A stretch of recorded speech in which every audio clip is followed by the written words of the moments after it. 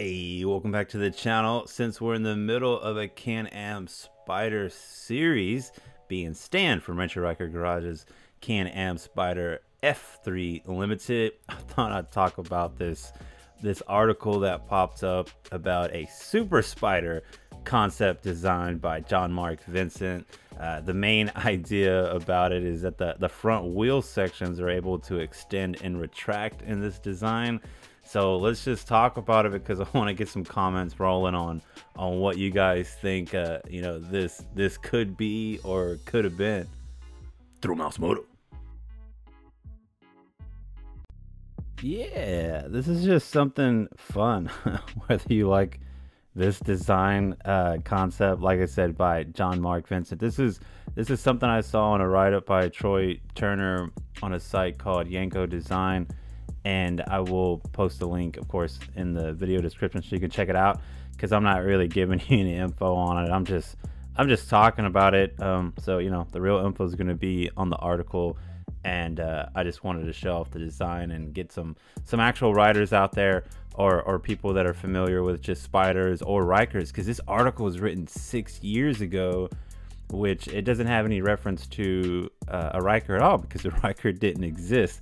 So I'd like to uh, have heard what uh, Troy Turner, the the writer of this article, how it would incorporate it, the the Ryker's design into it, based off what we're seeing here on the Super Spyder. This is crazy. I mean, this is definitely like some some Voltron. Like, let me know what kind of vibes you're getting in the comments. Uh, like Voltron, maybe maybe little Transformers going on here, or any other type of anime for the most part, or futuristic uh, movies.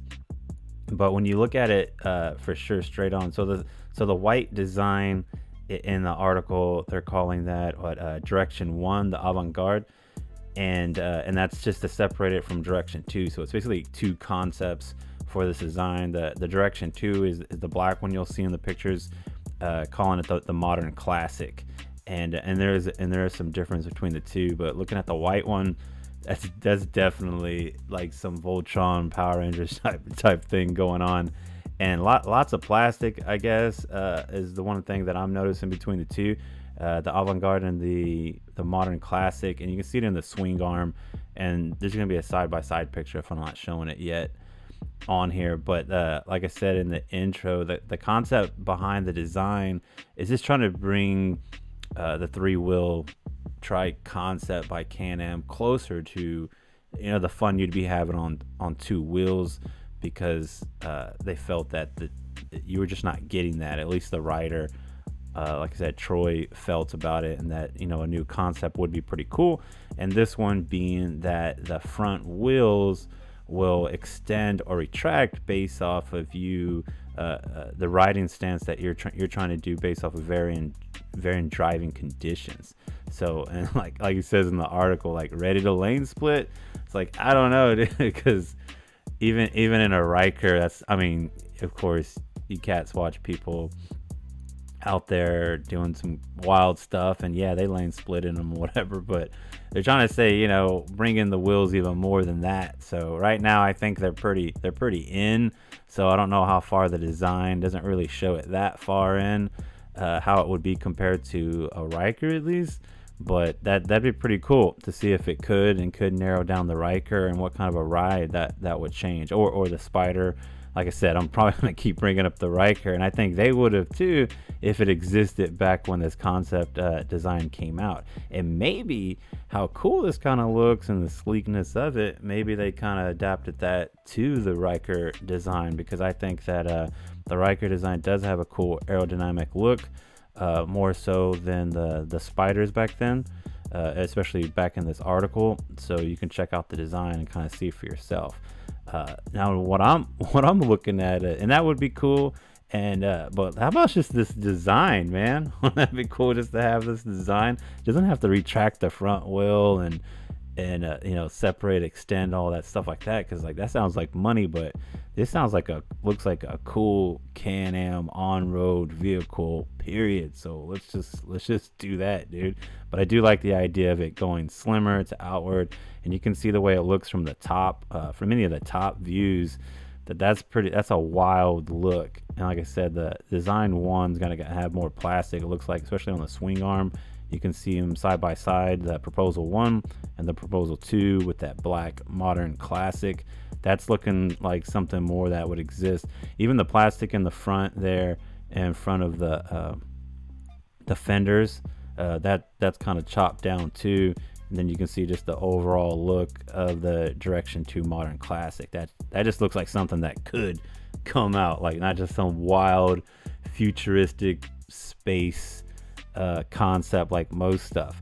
And the, and the, designer is saying that he's getting the concept from a falcon, just the way that uh, you know they'll spread their wings and then come through, and that, and that's and that's pretty cool too. Uh, it uh given the Spyder the ability to to ability to enclose the track um and uh, to optimize aerodynamics like like a bird for higher velocity and it shows some of the vehicles uh you know being like a high performance car uh, mixed with the Spyder and then that's what's making the super Spyder based off the design but what i do like because like like i was saying just a second ago is like yeah yeah the wheel the wheel stuff is cool but the design looks cool uh, and it's something different than what we have been seeing between the Spyders. I mean, look in the Ryker design, they just came out with the same original design that that is on my 2019. So having a different look would be cool. Period. But they're saying that the, the performance benchmark is going to be based off what in this concept we based off a Kawasaki H2RR, which is supercharged 998 cc, dude, inline four. And it's like, let's just have that too. let's just get a Spyder, which is that. And it looks like this. And then we'll just call it off. Let's just go ahead and use that design. If you can't get the, you know, the front wheel retract, extend, you know, set up, then we're not going to trip about it, dude. We didn't want to pay for that part of it, anyways, probably. Um, and then you can see uh, this. This was little. This is cool. That's one that really gets anime futuristic and this is the theme exploration little image uh, in the article and you can see the way that back seat just floats which is which is cool which is kind of what they ended up doing or, or trying to play off of that on the Ryker. so like I said I could see some inspirations from some of these designs and that and that's usually the way the concept stuff works um, the way I see it is you know they get real creative with it they put some stuff out there and then you know people look at it and they go, yeah, yeah, I like this part, I like this part, and then incorporate what what actually comes out.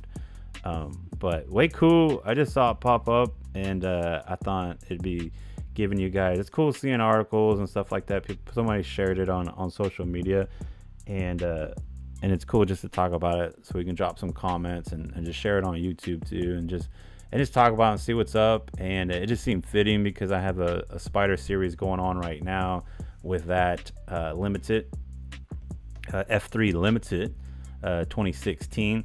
So we'll do the next video. If you haven't watched the other two, it's just me doing a walk around on some of the mods Stan has done to it since he bought it. It wasn't in the best condition, best condition when he bought it. So uh, check that out. Hear about some of the stuff that he's done. You can see some of it there. He's got all kinds of screens and stuff, and it's a it's a killer ride now. And I did get to ride it. Uh, you can see in this footage here, that was in the last video. And the next, we're just gonna do another walk around. I, I do it immediately after I ride, just to let you guys know how I liked it and, and how it was. And I'll go over some of my favorite features. Thanks for watching. If you enjoyed this video, please like and subscribe to Thrill Mouse Moto. I was paid to say this since Barry said he felt kind of weird asking. He also wanted me to say Baja Blast slams and yeah dog, Thrill Mouse Moto.